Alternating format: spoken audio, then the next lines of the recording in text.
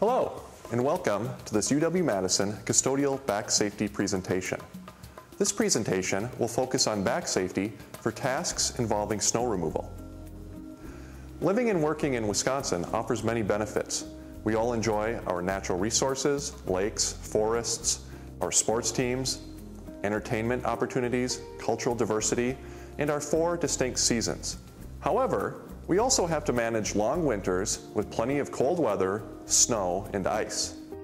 Living in Wisconsin, we are accustomed to shoveling snow around our homes, our driveways, and sidewalks. But for some of us, it is also part of our job. On campus, many custodians not only have the responsibility to keep the inside of buildings operational, but also tend to areas outside of the buildings as well. In most cases, custodians on campus are responsible for snow removal from the sidewalks to the building entrances. This usually includes steps, walkways, and common use areas. Therefore, it is important that custodians are aware of the hazards of snow removal and understand how to remove snow safely. Heavy snow, ice, cold weather, and labor-intensive activities are all potential hazards for custodians responsible for snow removal. It is therefore important to consider risks and hazards before you start any physical task, such as snow shoveling.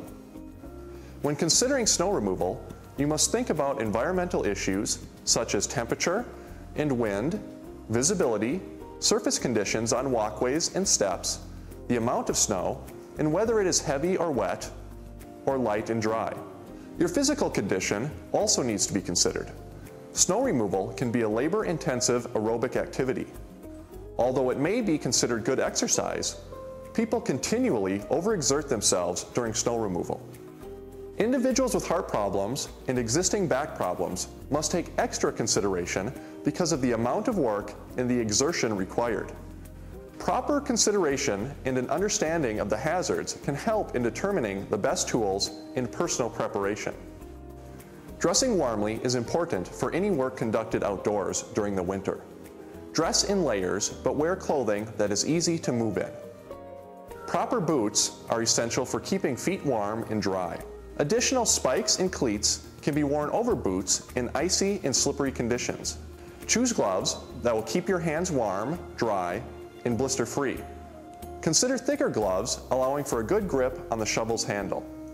Using the proper tools will also make your job easier and safer. There are several types of shovels, ice picks, and brooms that can move snow and ice.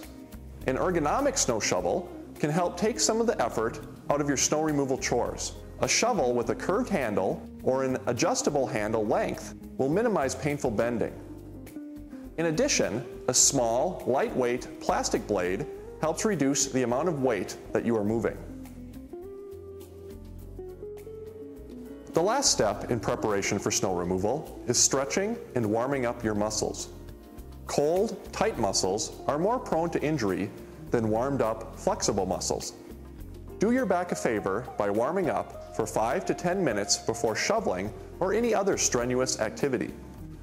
Get your blood moving with a brisk walk, marching in place, or another full body activity. Then, stretch with some gentle stretching exercises, including the shoulder shrug, which may help reduce upper back and neck discomfort. The mid-back stretch may help reduce fatigue between the shoulder blades. The hamstring stretch may help reduce lower back discomfort. Finally, the standing back bend may help reduce lower back discomfort. Depending on the amount of snow, you may be able to use a push shovel to push the snow, much like a snowplow would. Always use a push shovel to push the snow to one side, rather than lifting it.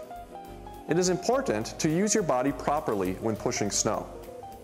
First, use proper hand placement about 12 to 20 inches apart on the shovel. Make sure to bend with your knees, not your back. Keep shoulders and hips in alignment. Use proper foot placement a wide base of support in small steps to avoid slipping.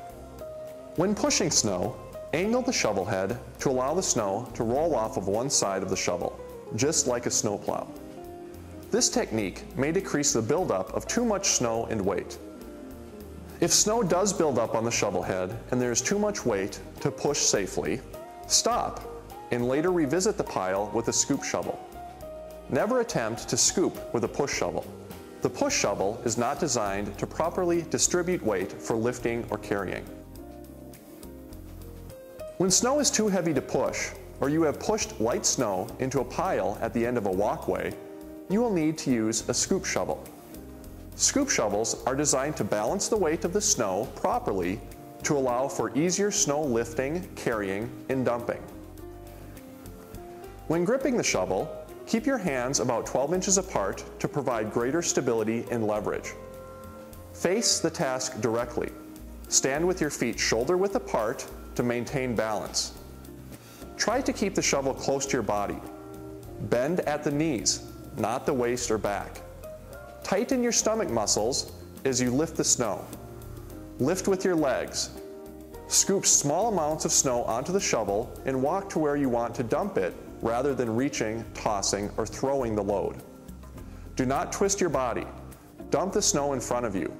If you need to move the snow to the side, move with your feet. Do not twist with your back. Avoid removing deep snow all at once. Do it piecemeal. Shovel an inch or two, then take another inch off. Rest and repeat is necessary. When working on uneven surfaces like ramps or steps, take extra precaution. Be especially considerate of proper foot placement to avoid slips and falls. If the ground is icy or slick, spread sand or salt over the area to help create foot traction. Be aware that some areas may be uneven and could cause you to slip, trip, and fall. Whether using a push or a scoop shovel, it is best to push the shovel across the steps rather than lifting the snow on an uneven surface. You can either remove snow from steps from the top to bottom or the bottom to top. Both have pros and cons. If you choose to shovel from the top down to collect the snow at the bottom, make sure you are careful moving your feet across the lower steps that have not yet been shoveled. Always wear boots with good traction. Consider wearing strap-on cleats over your boots. If a large pile of snow collects at the bottom of the steps, use a scoop shovel for proper removal while keeping in mind proper body techniques as mentioned earlier. When snow is compacted or ice is found, you may need to break it up with an ice chopper. Use a wide base of support, feet should be shoulder width apart, place both hands approximately 12 to 20 inches apart on the ice chopper. Begin an up and down chopping motion in front of your body. Take special caution to avoid chopping near your boots. Alternate between shoveling and chopping ice to change your body position to avoid fatigue with one particular task. After you have finished removing the majority of visible snow and ice, you should apply salt or sand to add traction, working to ensure that any remaining slippery surfaces are covered.